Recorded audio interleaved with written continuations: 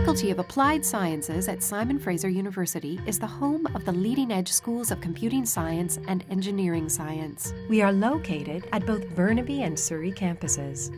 With strong emphasis on advanced research, partnerships, and academic development, the Faculty of Applied Sciences is unmatched in supplying new technologies and graduating technology leaders of tomorrow. The key strength of our faculty is our people. We have some of the world leaders in computing and engineering. We have people who work very closely with leading industries. We make sure that our students get exposed to industry through this multifaceted approach to education. We create the future technology leaders of the world. Award winning faculty members have received large scale funding for research through programs such as the Province of BC's Natural Resources and Applied Sciences Endowment and the federal NSERC Discovery Accelerator supplements. Creating opportunities through partnerships and collaboration with industry is an integral part of SFU's Applied Sciences mandate. Maple Ridge based Future Vehicle Technologies, FVT, developed one of Canada's first hybrid prototype cars with support from SFU engineering science research teams. Simon Fraser University was looking for a way of doing research that was relevant.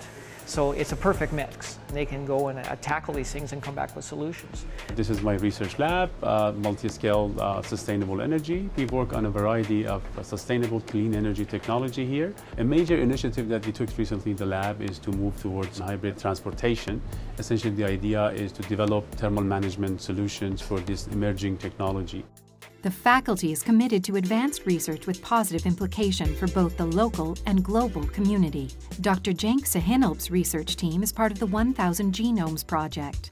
This is the first worldwide research collaboration whose goal is to create an extensive public catalog of human genetic variation. The 1000 Genomes Project is probably the biggest scientific project ever. The scale of this project is huge and it's very exciting to see how different algorithms that we develop are getting translated into tools directly used for benefiting different individuals.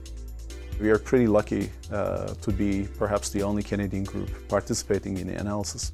At SFU's Applied Sciences, students have many opportunities to develop their future career skills and become technology leaders. In Dr. Bozena Kaminska's CiBER Lab, 14 patented technologies and three spin off companies have resulted from the advanced research taking place there. Her team, consisting of students and postdocs, get experiences that are uniquely beneficial to their career paths as impending technology leaders. Being Canada researcher, I got some CFI funding to create a lab. The unique thing about CiBER is that we uh, meet people from outside creating collaborations. Mostly I have PhD students.